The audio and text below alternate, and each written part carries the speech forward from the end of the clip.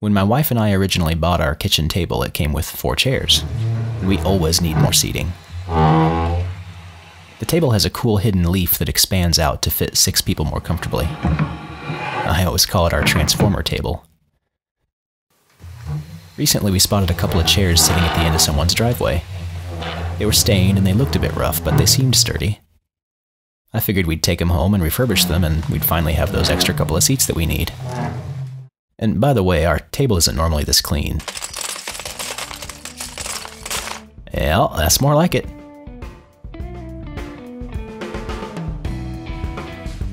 I started refurbishing these chairs by removing the seat cushions. There were just a few screws holding these in from the bottom.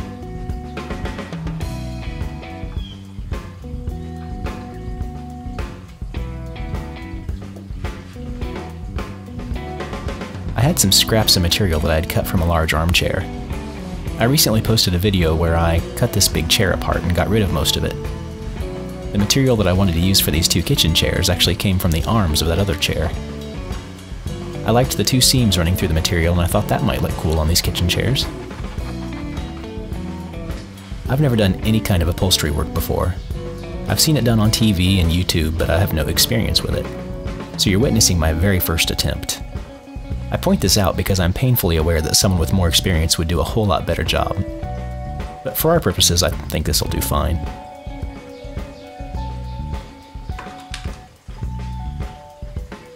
I pulled out my old staple gun and staples that I had lying around. The staples didn't always seat all the way down into the wood on the first try, so I had to do a lot of pounding the staples in with a hammer, or pulling bent staples out and trying again. I'm making sure the fabric is pulled nice and tight, and I'm securing it with staples. I wanted to avoid wrinkles or saggy material on the visible side of the seat.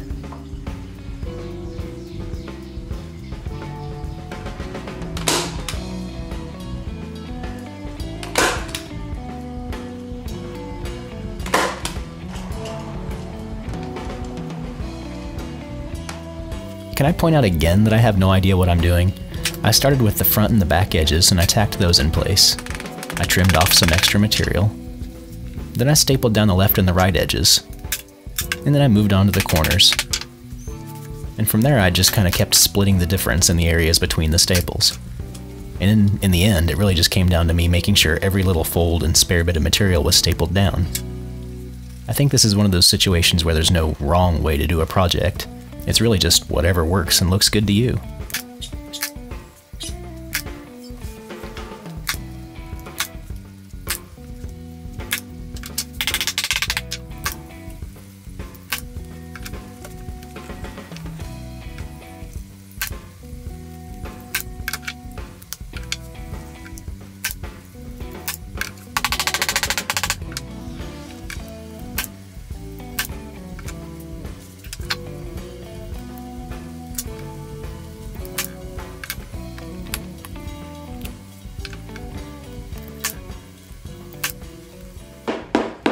My daughter came over to inspect my work, and her reaction made me feel pretty good about my first try at recovering a seat cushion. Wow. See? Not Dad, too bad. You have to make the legs. No, they're right there. I realized that one of the legs was wobbly, which was caused by a split rail on the side of the chair. Dad, I removed the leg, and the split wood almost immediately just popped apart. This angle bracket is made with finger joints, but it was held in by four screws and a tiny amount of glue. I used a screwdriver to pry the finger joints apart, and they came apart with only a tiny amount of effort. And a little more wood split apart when I did this. I re-glued the broken rail. I put a good even layer of glue on both pieces and clamped it to dry. It's a really clean break along the grain of the wood, so I'm confident the repair will hold. After that glue dried for several hours, I reassembled the joint. I reversed a clamp to use it as a spreader bar so that I could remove tension from the joint while I worked on it. I again put a good even coat of glue on both surfaces and I put it back together.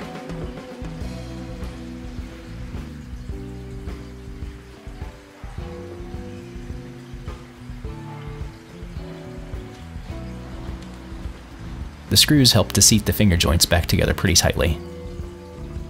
I left one clamp on that rail that I repaired previously just to help make sure that driving in the screws didn't force that glue joint back apart.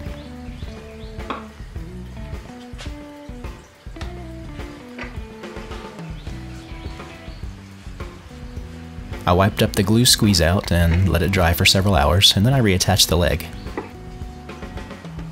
And the leg is nice and strong now, no wobble at all.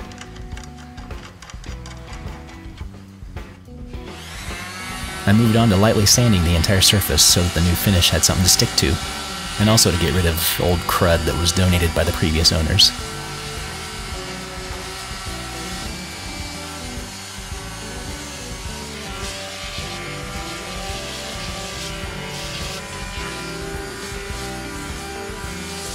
I had a can of black spray lacquer sitting around, so I used that. I had to go and buy a couple more cans before I was done.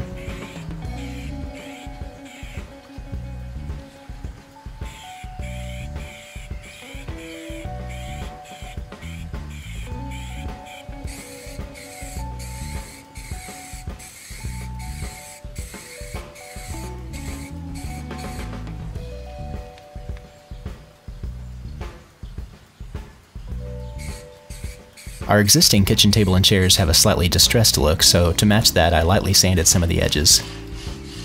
The new chairs ended up matching the look of the old chairs far better than I dared to hope they would. To help protect the finish from crud and drips from my own kids, and to even out the luster of the finish, I used some Minwax paste finishing wax. You wipe this stuff on, you let it dry for 10 or 15 minutes, and then buff it off. This frankly was the biggest pain of the whole project, but Honestly, it didn't take very long and it did make a big difference. The finish is nice and smooth to the touch and it has an even luster.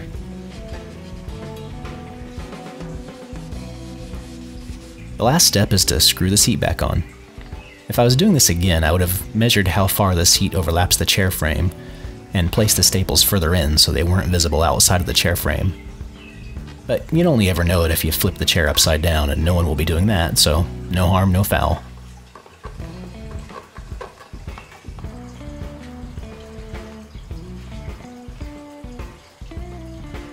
If you like this video, please do make sure to subscribe and hit the like button. Thanks for watching!